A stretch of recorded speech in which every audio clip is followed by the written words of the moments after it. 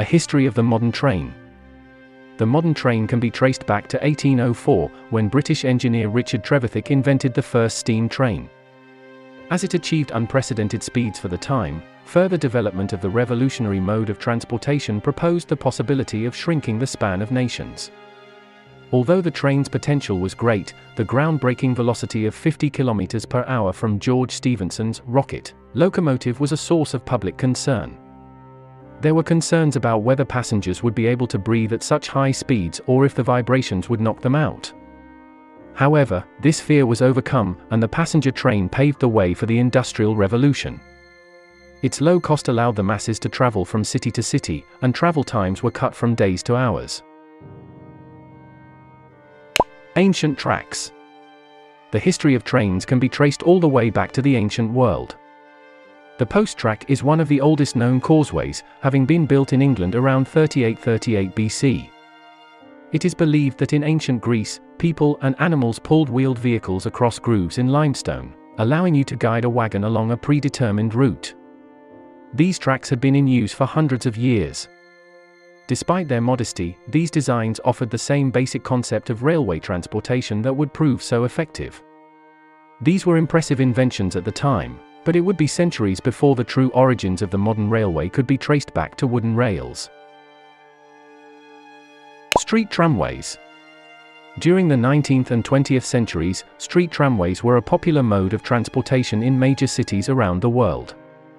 In 1885, horse-drawn trams were introduced in Brisbane. In 1897, they were replaced by electric trams. When a major program of freeway construction began in Brisbane in 1969, trams were phased out. Trams were thought to have little place in a city where the car would reign supreme. Rockhampton also had a tram service, which consisted of nine steam trams. The first four were brought over from France. Later trams had locally constructed bodies mounted on imported chassis. The tram service started in 1909 and ended in 1939. Electric trains. Electric trains are more quiet, faster, and simpler to operate than steam or diesel trains. Werner von Siemens, a German engineer, invented the first electric train in 1879. He constructed a train that could transport 30 passengers on a short journey. It moved at a slow 6.5 kilometers per hour. Mount Morgan Gold Mining Company bought three electric locomotives in 1899 to haul ore on its underground rail system. The Queensland government did not seriously consider electrifying Brisbane's suburban railways until the late 1940s. Work began but was halted in the 1950s in favour of diesel-electric locomotives. In the early 1970s, a plan to electrify sections of the state rail network was revived. Over 1,000 kilometers of track have been electrified since 1974, including the Brisbane Suburban Network and the main North Coast Line from Brisbane to Rockhampton.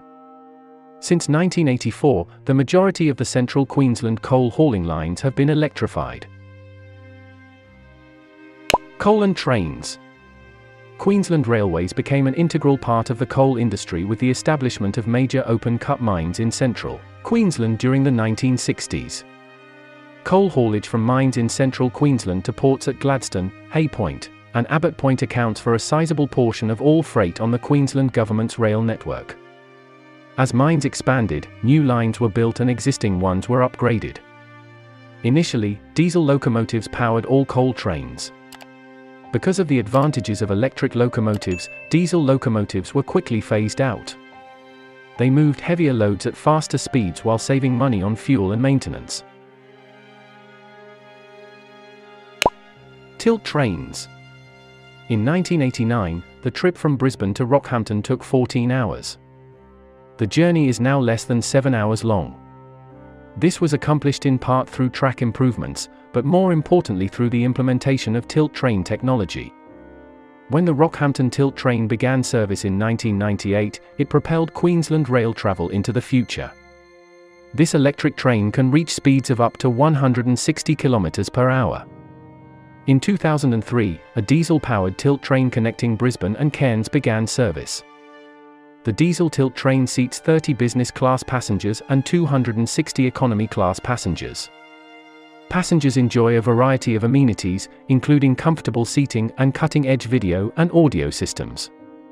They can watch movies or look at the track through a camera mounted in the driver's cabin. A global positioning system is also used to show the train's progress on video monitors. High speed trains. High speed trains represent a new era in rail travel.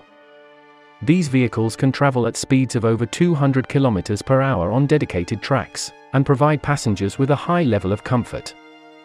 As airports and roads become increasingly congested, high-speed trains have emerged as an alternative to air and road travel. Japan and Europe have made significant investments in high-speed rail. The Japanese Shinkansen, or bullet train between Tokyo and Osaka was the first regular high-speed train service, introduced in 1964. The French train à grande vitesse, TGV was Europe's first regular high-speed train service. Other high-speed services followed suit in Germany, Italy, Spain, Belgium, and the United Kingdom. The latest generation of high-speed trains travel at or near 300 km per hour on dedicated track. Development continues and researchers predict that trains could travel at average speeds of 400 km per hour in the future. High-speed rails are railway systems capable of speeds exceeding 250 km per hour. The majority of these trains can run on reinforced conventional tracks. Two synchronized engines, one at each end, are typically used to power high-speed trains. Roof-mounted pantographs and overhead supply lines provide electricity. To travel at top speeds, these systems' routes are kept as straight as possible. Trains of the future Maglev Railway engineers have long wished to develop a rail system that does not use wheels and avoids direct contact between train and track. Maglev is the answer. Maglev, or magnetic levitation, operates on the magnetic force principle, which states that opposite poles attract and like poles repel. Superconducting magnets, which are extremely powerful magnets, are used to propel, lift, and guide the train along the track the train hovers at a distance of 10 to 20 millimeters above the track. Maglev has numerous advantages over traditional rail. For instance, it has no moving parts to wear out, is extremely quiet, requires little maintenance, is environmentally friendly. Maglev's greatest potential is for high speed, long distance travel. High-speed maglev trains are on the verge of becoming a reality after decades of research and testing. Researchers predict that these trains will travel at 500 km per hour on average.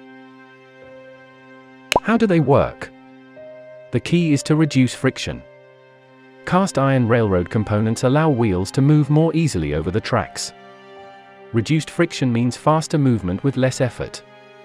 Rail lubrication helps to reduce fuel costs while also extending rail life. Lubrication also contributes to the track's longer lifespan. When a train encounters a curve in the tracks, the rails may be cut on the side. Lubrication reduces friction, allowing for more efficient use of the tracks. This reduction in friction also helps to reduce fuel costs, allowing trains to travel on less fuel. This was the evolution of the train. We hope you like the video.